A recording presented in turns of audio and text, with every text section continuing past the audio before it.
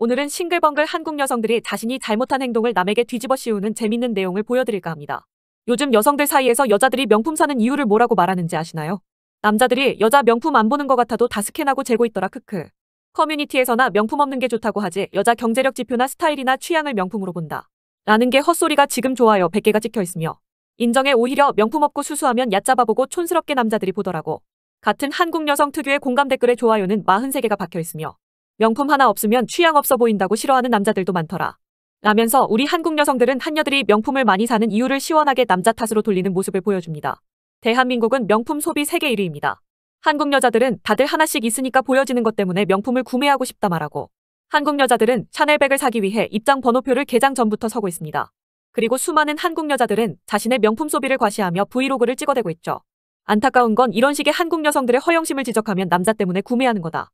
라는 헛소리가 나온다는 게 문제인 겁니다. 자 그렇다면 이제부터 과연 한국 여자들이 명품 구매를 남자 때문에 그렇게 하는지 알아보도록 하겠습니다. 명품 가방 살까 매일 편하게 들고 다닐 가방 여러 개 살까라는 이 한국 여성을 보겠습니다.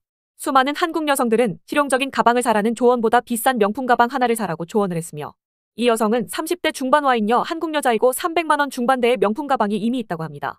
하지만 결혼식 때 들만한 명품 가방을 살까 말까 고민을 하고 있죠. 한국 여자들이 명품 가방을 사는 이유가 아직 느낌이 안 오시나요? 결혼식 간 엄마 친구 무리에서 엄마만 명품 가방 없었다. 차로 엄마 데리러 갔다가 내가 그 광경을 봐버렸음. 엄마 친구들 가방이랑 눈이 마주쳐버렸다고. 자존심이 상해서 엄마 데리고 잠실 롯백 바로 가서 루이비통 가방 사줬다라고 말하는 이 한국 여자. 아까 한국 여자들이 말한 내용과 조금 미묘하게 입장의 차이가 있죠? 아까는 분명 남자들이 여자들 명품을 보고 명품 없으면 얕잡아 보니까 남자 때문에 구매한다 했는데 이제 보면 명품 없다고 얕잡아 보는 건 남자가 아니라 같은 여자들인 걸 알 수가 있습니다.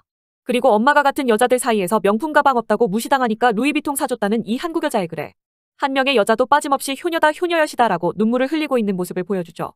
자 이제 여러분은 한국 여자들이 왜 명품을 구매하려고 발광을 하는지 감이 오실 겁니다.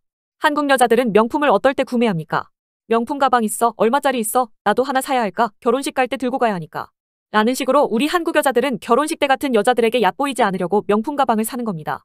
결혼식 갔는데 다들 명품 가방 하나씩 들고 있어서 명품 가방 사려고 한다는 여성들의 모습. 그녀들은 언제나 이런 식입니다. 자신들이 허영심 넘치고 같은 여자들보다 우월하고 싶고 열등함을 느끼고 싶지 않아서 하는 행동들을.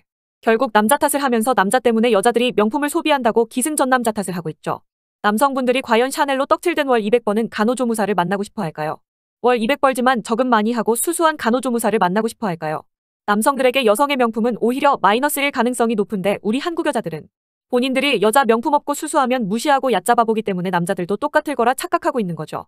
그렇기 때문에 저딴 댓글을 쓰며 남자 탓을 하고 있는 겁니다. 참 한심하지 않습니까?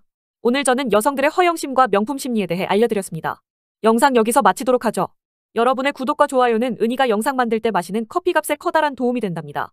오늘의 한 줄 요약. 마통으로 샤넬백 들고 다닌다고 이련이 명품이 되는 게 아니랍니다. 한국 여자들.